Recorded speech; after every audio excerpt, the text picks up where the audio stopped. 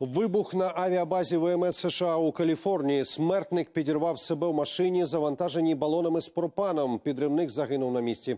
Окрім нього, внаслідок вибуху ніхто не постраждав.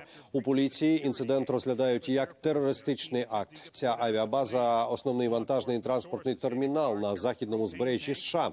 На її території постійно перебувають близько 7 тисяч військовиків.